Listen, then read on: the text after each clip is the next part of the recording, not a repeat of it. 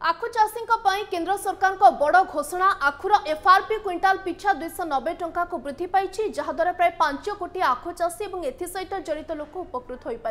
সেভাবে আখু উৎপাদনের কাম করুবা প্রায় পাঁচ লক্ষ শ্রমিক এদ্বারা লাভ পাইবে আখুর চিনি হবার রিকভরি দশ প্রত রয়েছে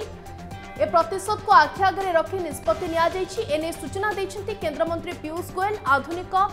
ଗୋୟଲ ଆଧୁନିକ ଟେକ୍ନୋଲୋଜିର ବ୍ୟବହାର କରି ଆମ ଚାଷୀ ରିକଭରି ରେଟ୍କୁ ବଢ଼ାଯାଇ ପାରିଥିବା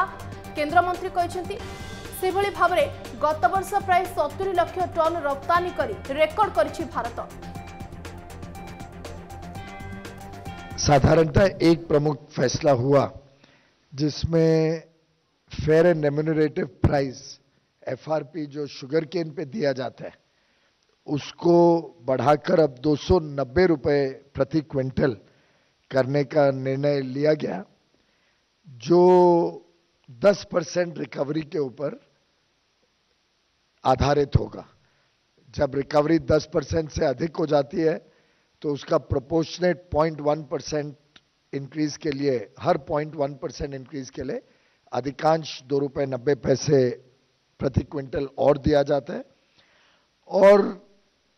न्यूनतम बेसिक जो प्राइस मिलती है,